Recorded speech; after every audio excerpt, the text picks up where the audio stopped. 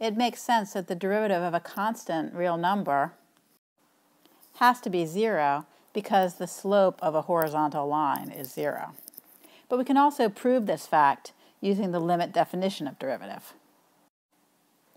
The derivative of any function is the limit as h goes to 0 of the function of x plus h minus the function at x divided by h.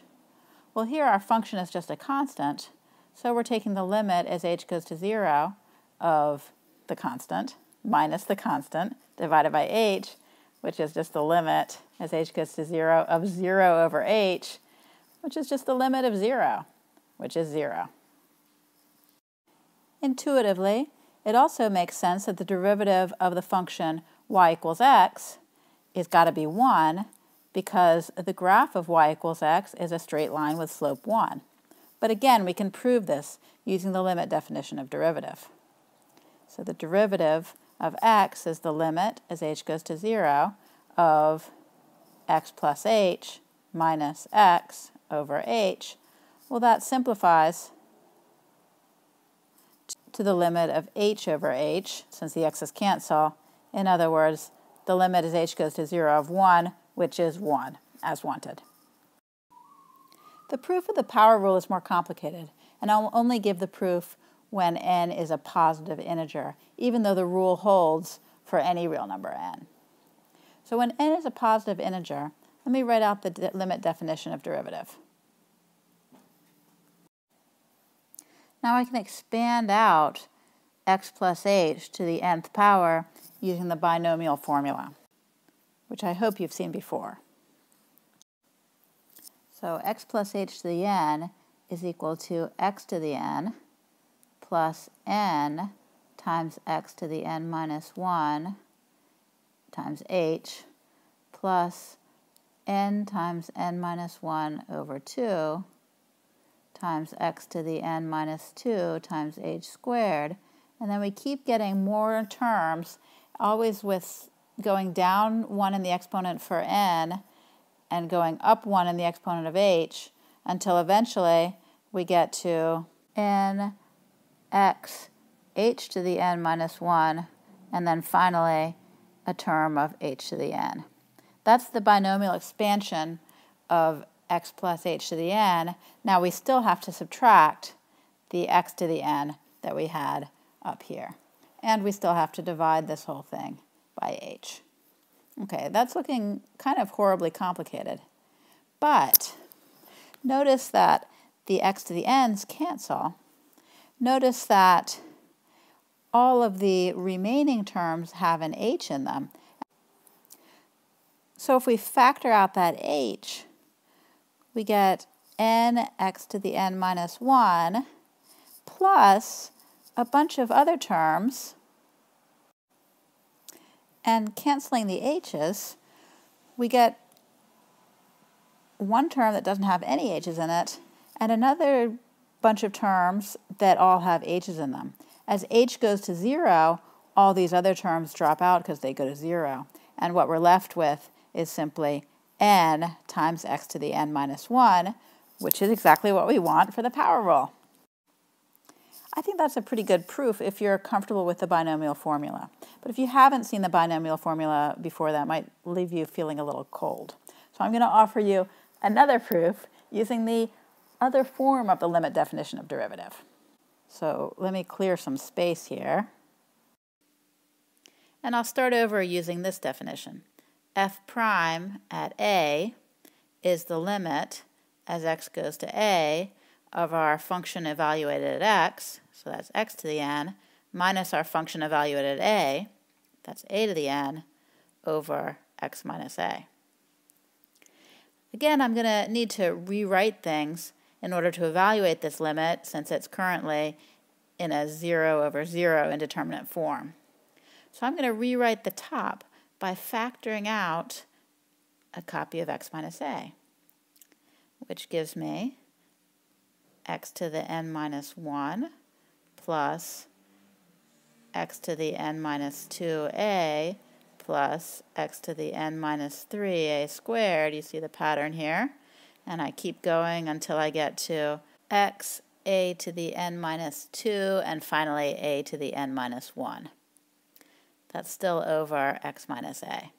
You can verify this factoring formula simply by multiplying out and checking that you, in fact, do get x to the n minus the a to the n after all your intermediate terms cancel. Now that I've factored, I can cancel my x minus a and simply evaluate my limit by plugging in x equal to a to get a to the n minus 1 plus a to the n minus 2a plus and so on.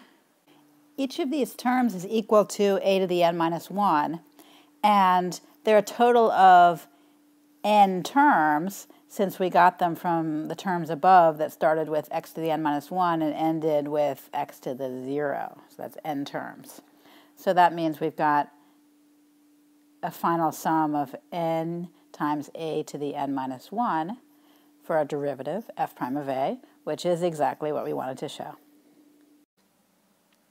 Next, I'll prove the constant multiple rule that says that if c is a real number, constant, and f is a differentiable function, then the derivative of a constant times f is just the constant times the derivative of f. Starting with the limit definition of derivative, I have that the derivative of c times f of x is the limit, as h goes to 0, of c times f of x plus h minus c times f of x over h.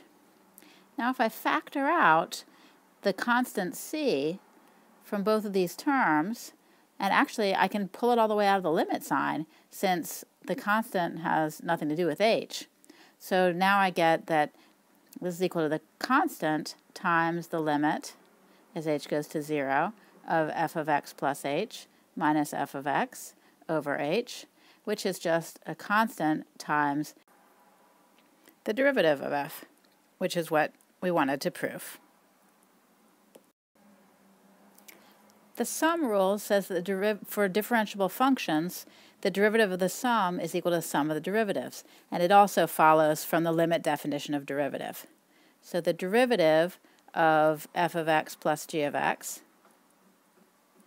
is, by definition, the limit as h goes to 0 of f of x plus h plus g of x plus h minus f of x plus g of x all over h. Now I'm going to distribute through the negative sign and regroup, putting all the f terms together and all the g terms together. Now if I split up the sum into two pieces, I can use my limit rules to rewrite the limit of the sum as the sum of the limits since both limits exist by our assumption that the functions are differentiable. So you might recognize that these last two limits are simply the derivative of f and the derivative of g. And that finishes the proof. The difference rule can be proved just like the sum rule by writing out the definition of derivative and regrouping terms. Or we could use kind of a sneaky shortcut and put together two of our previous rules. So if we think of f of x minus g of x as being f of x plus minus 1 times g of x, then we can use the sum rule to rewrite this as a sum of derivatives, and then use the constant multiplier rule to pull the constant of negative 1 out. And then we have exactly what we wanted to prove. So in this video, we gave the proof of the constant multiple rule, the sum and difference rules, and a proof of the power rule when n is a positive integer.